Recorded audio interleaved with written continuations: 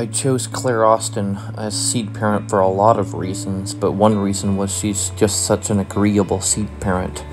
Disease resistance, beauty, fragrance were all involved.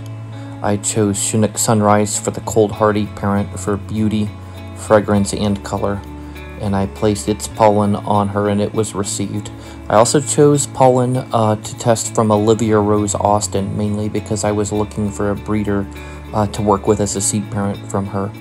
I'll leave up to you which pollen parent produced which. This is uh, seedling 02 right here.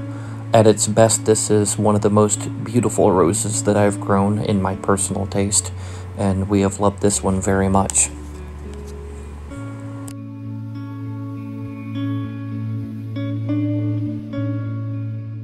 This is the first bloom on 03 and it began to produce a little bit more sturdy bloom after that.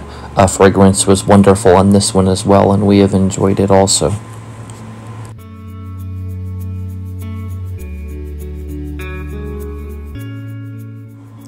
I loved the first bloom on 08 from the first moment I saw it, and I've loved every bloom since.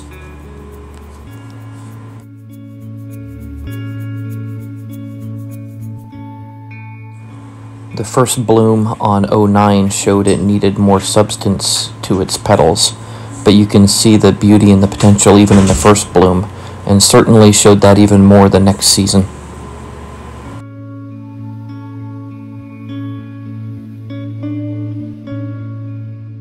There was a lot of variance between all the seedlings, but you can see a great similarity between these ones here.